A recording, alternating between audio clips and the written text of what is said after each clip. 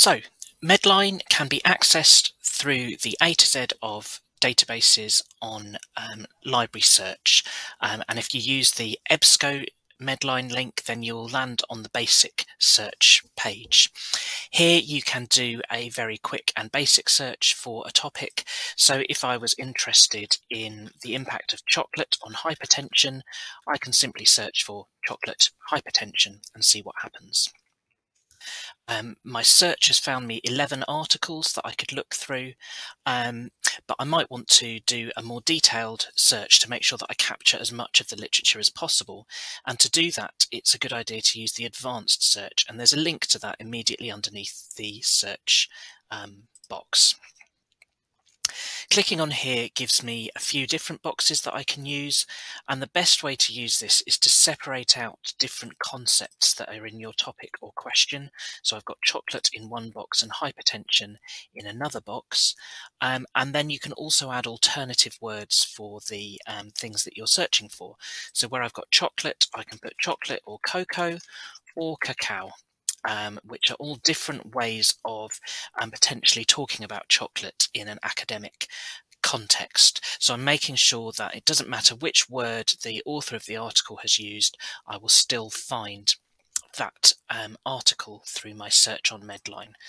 And where I had 11 articles before, um, this has now gone up to 197. So I've found a, a much um, wider range of potentially relevant literature.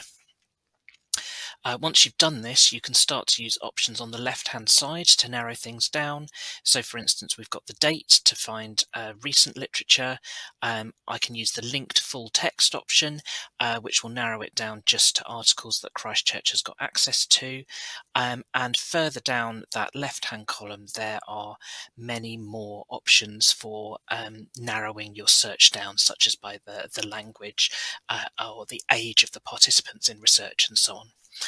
Um, on your list of results, um, you can see a lot of information about each article. If you click the title, it will give you an abstract of the article, um, and the full text finder button will take you through Christ Church's systems to get the article that you um, want to use. There are other features on uh, Medline that you can use as well. So if you use MESH or medical subject headings, there is a link to that um, at the top, um, MESH 2021 it says here.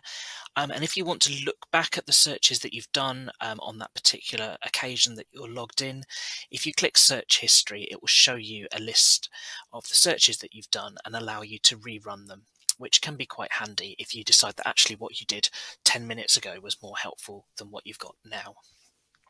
So that's a very quick overview of Medline, um, a very useful database for um, finding biomedical literature. I hope you found that helpful and happy searching.